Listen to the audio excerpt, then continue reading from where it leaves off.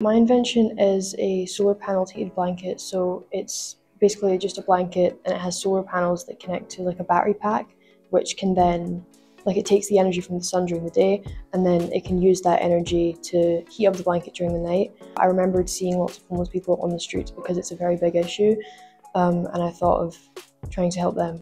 Thales in Glasgow thought that was just such an incredible idea they couldn't resist it and they set about building it.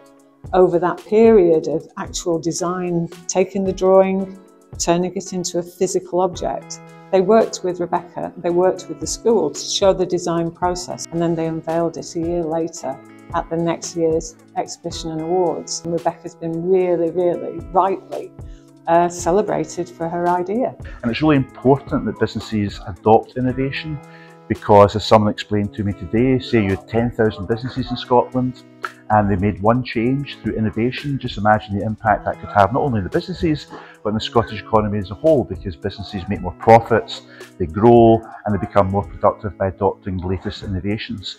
Um, it was crazy to be Girl of the Year in Times Magazine. I didn't expect it because it was just like a lunchtime club at school and I like researched it and then I sent it off and I thought that would be it.